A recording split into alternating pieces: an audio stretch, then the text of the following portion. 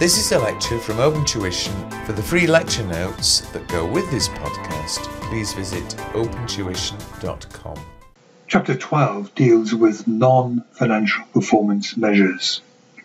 This is a very important area of the syllabus. It comes up in almost every exam, and there are four models that you have to know because these come up fairly regularly in the exams. First of all, why is non financial performance measurement important? We, as accountants, tend to think that finance tells us everything or financial statements tell us everything, but that's far from the case. And here are five reasons uh, why pure financial measurement may not uh, be good enough for performance management. The first is short termism uh, financial statements come up or produced for really for no lesser period than a year, uh, and, and no greater period in a year is really what's important.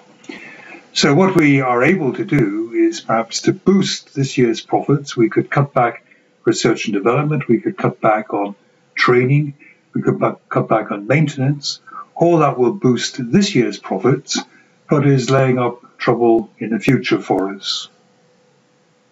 Secondly, internal focus. We tend to be consumed with what were our costs, what are our costs compared to budget, what was our idle time, what was our efficiency, and, and, the like. Now, undoubtedly, I'm not saying to ignore all of these, but it might also be interesting to see well, what are our competitors doing? What are our customers think about us? What's our reputation? What's happening in the market? Manipulation of uh, results. We only have to, and, and, and this, this uh, I'm going to touch to that on short termism, uh, maximizing this year's results at the expense of future years. But manipulation of results, uh, uh moving expenditure from one year to the next, filling that with budgets. Uh, we had at the time of recording a recent scandal which broke over Tesco, where it was revealed that about a quarter of its profits seemed to stem from manipulation of results dealing with the way it was handling rebates from its suppliers. A partial understanding of the position. Because you make good profits because your profits increase, that of itself does not explain how or why profits have increased. What is the, the cause, a real push behind you to allow these profits to increase? And if we don't understand that, then we don't know really what to do in the future. We're more relying on luck. And finally, financial results are usually backward looking.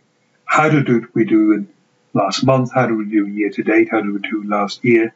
Rather than uh, focusing where we should perhaps be focusing much more, not exclusively, but much more, and that is looking into the future.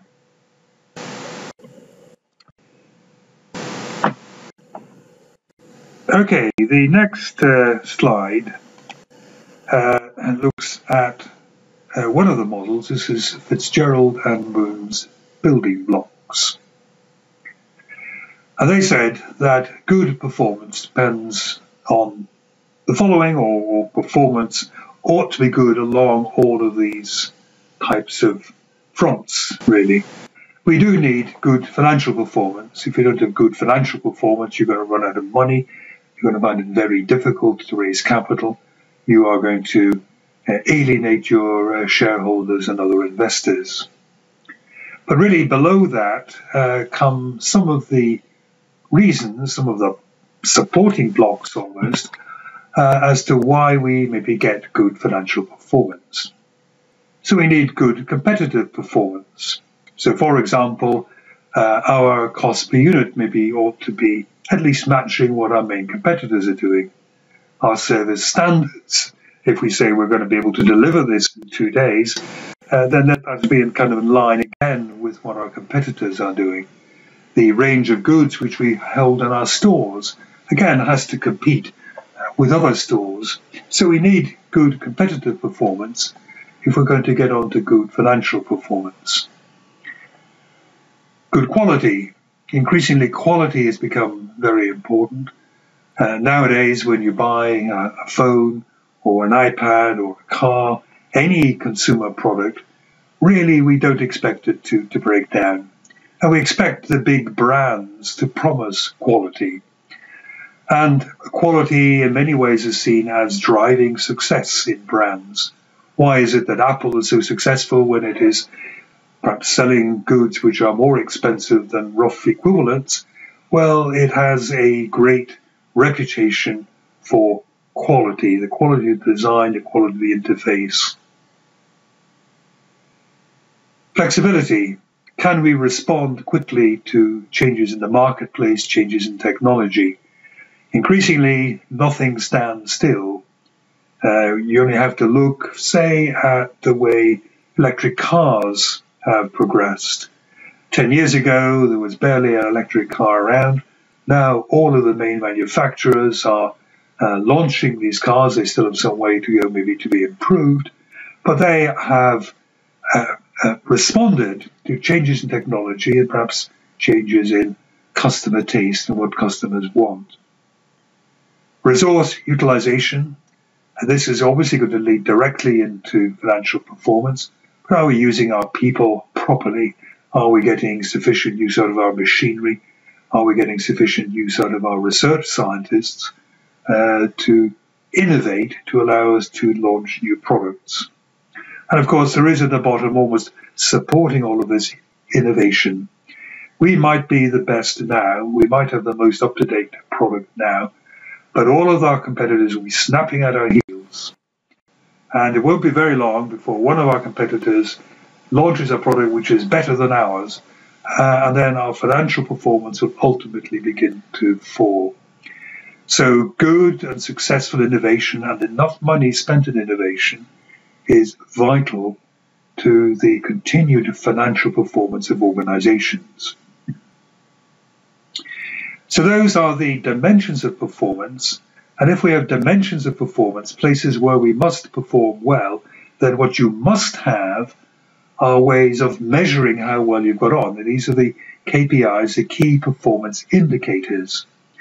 So if you're saying we need to be uh, competitive, our competitive performance needs to be good, you need to measure it. You need to measure your own and you need to compare it. You need to benchmark it against your uh, opponent's uh, uh, performance. Similarly, in innovation, that's ultimately supporting the long term success of the business. We need to measure innovation. We need to set budgets. We need to measure how we get on. We need to compare ourselves against other companies to see if we are, for example, bringing out new products at roughly the same speed that they are. the standards for the KPIs first of all, the people uh, to whom you give them must feel they own them, uh, that they can, in a way, influence these KPIs, that they're something which they have the, the relevant, they have the power to, to, to, to achieve and kind of not to achieve.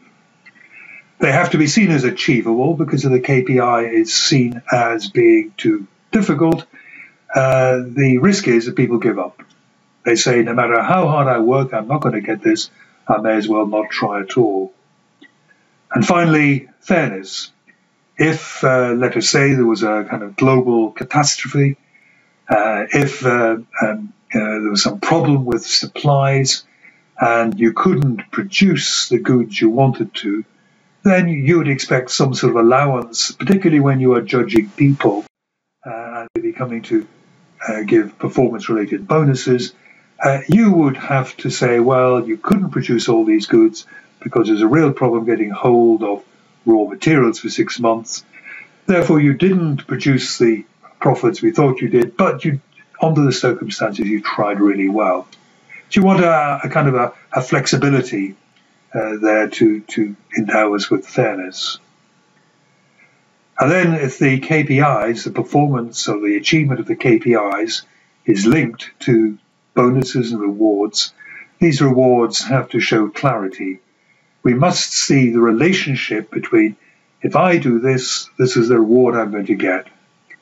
If it's obscure, if it just seems to be an arbitrary gift from your manager, uh, then you begin to lose really the relationship between uh, your activity, what you achieve, and what you're going to get. So it has to be understandable.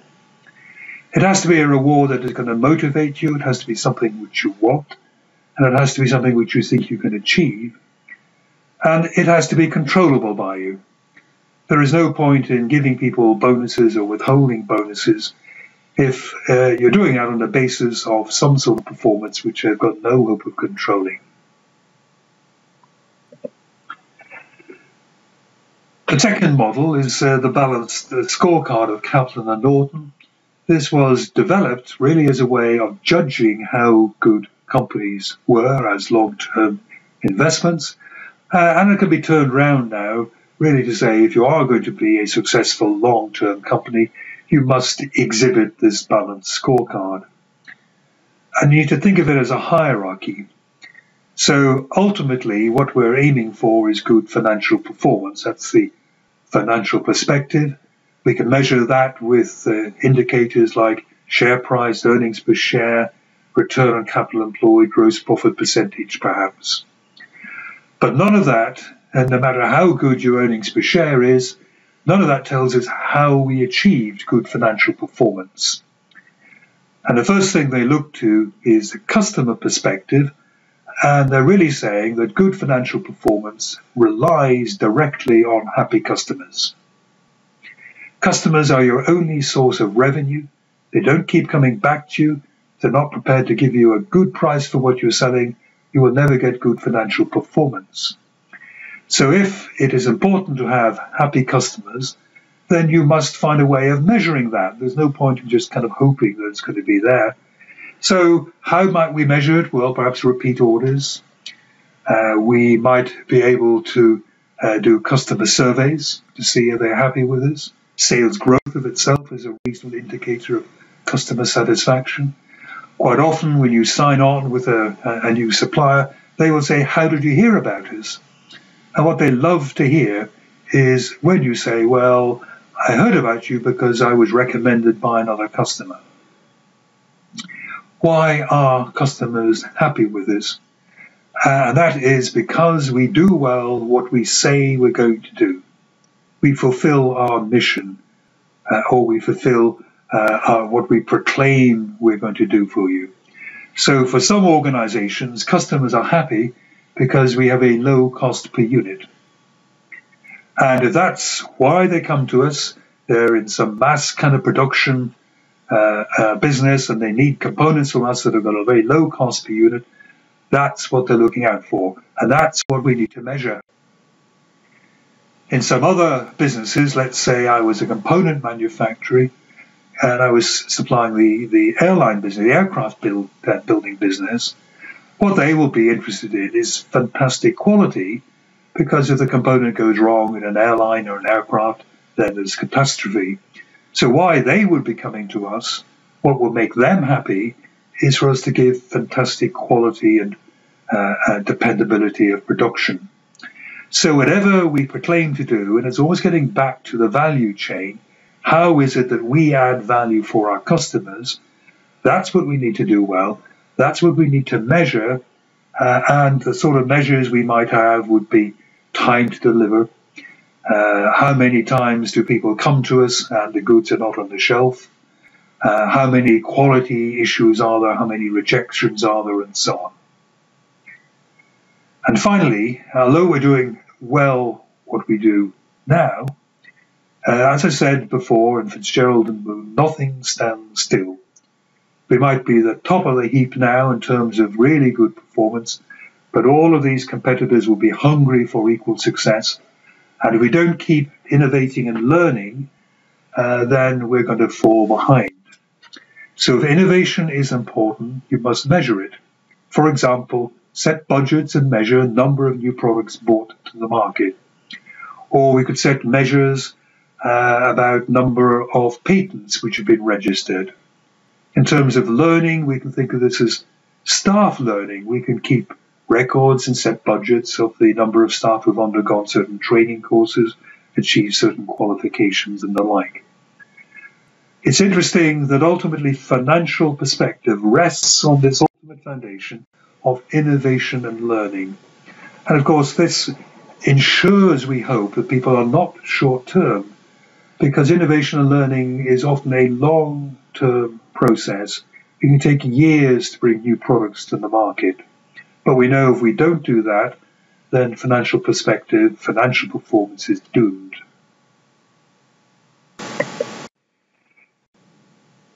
The performance pyramid of Lynch and Cross, slightly more uh, complicated, uh, perhaps to, to understand. Uh, but what it is looking at here is we start at the top of the organization. Let's see if I can get my pen writing on this here. We start with the, the, the top of the organization here, and we have a corporate vision.